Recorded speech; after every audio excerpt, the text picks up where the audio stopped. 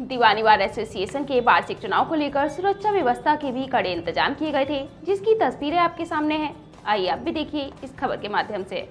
बता दें कि चुनाव सिर्फ़ एक पद पर हो या फिर सभी पदों पर, सुरक्षा व्यवस्था के इंतज़ाम और पूरी चुनाव प्रक्रिया को पूरे विधिवत रूप से अंजाम दिया जाता है। महिला उपाध्यक्ष के पद पर 20 दिसंबर के दिन दीवानी बार सभागार में चुनाव संपन्न कराए गए। ऐसे में सुरक्षा व्यवस्था के इंतज़ाम बेहद कड़े और खास किए गए थे।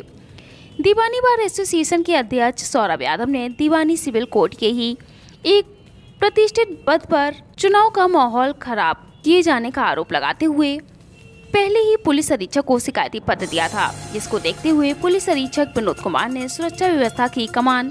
क्षेत्राधिकारी नगर संतोष कुमार सिंह को सौंपी थी। 20 दिसंबर के दिन चुनाव प्रक्रिया शुरू होने से पहले ही क्षेत्राधिकारी नगर संतोष कुमार सिंह दीवानी सिविल कोर्ट परिसर में मौजूद दिखाई दिए। उन्होंने अपनी मुस्तैदी में सुरक्षा व्यवस्था के पुख्ता और कड़े इंतज़ाम किए थे। चप्पे चप्पे पर पुलिस की तैनाती थी। बड़ी संख्या में पुलिस बल यहाँ सुरक्षा व्यवस्था को देखते हुए लगाया गया था। वही चुनाव की सुरक्षा व्यवस्था को लेकर स्वयं क्षेत्राधिकारी नगर संतोष कुमार सिंह ने क्या कुछ बताया है, यह जरा आप भी सुनिए।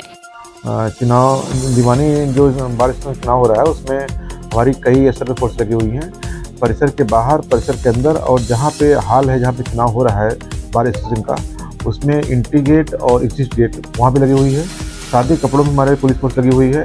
वहाँ पे टीयर गैस और पीएससी की फोर्स भी हमारी तैनात है, जिससे कोई भी अनहोनी नहीं होने पाए, कोई भी हिंसा नहीं होने पाए, कोई भी उपद्रवी तत्व आकर के वहाँ पे परेशान नहीं करने पाए।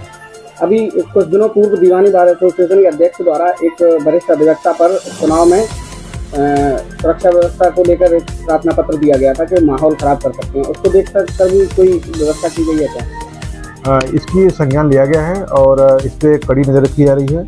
ऐसी कोई भी शिकायत जो आती है, वो पुलिस जो संज्ञान लेती है। उच्च अधिकारियों के निर्देशन में उसकी बहुत मैन्यूट मॉनिटरिंग की जाती है। कोई भी ऐसी घटना नहीं घटी पाएगी।